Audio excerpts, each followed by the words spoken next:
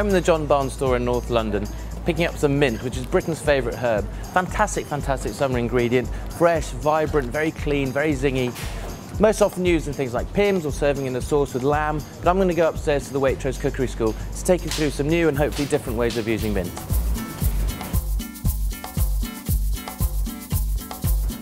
There are limitless ways of using mint, right from infusions, almost like teas, through to putting in sugar syrups with cocktails or drinks, or sorbets, fantastic in desserts. But what I'm actually going to be doing is the other end of the flavour spectrum. I'm going to be making a really strong, fiery marinade for chicken, which is much more sort of in line with those Asian flavours. Mint, coriander, garlic, chilli, lime.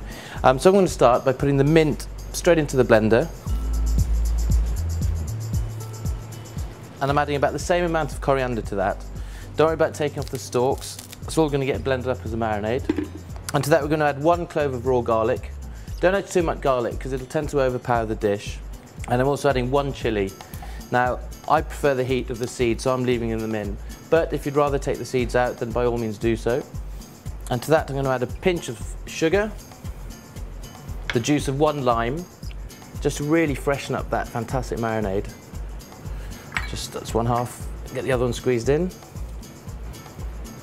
And then finally just a twist of salt and one of black pepper.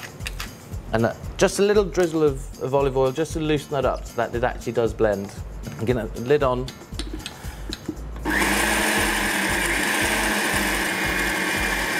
So give that about 30 seconds to a minute in the blender. And that's about it. Now I'm just going to pour this straight into the chicken now. I've got some chicken breasts here cut up into three or four pieces. Just going to add about half of that marinade to it. And just mix that through. So that's the marinade got into our chicken. Now the longer the better as with any marinade, so if you could do this the night before, ideal, but a couple of hours beforehand will be absolutely fine. And there we have it, my mint and coriander marinade, perfect for chicken and works equally well with fish.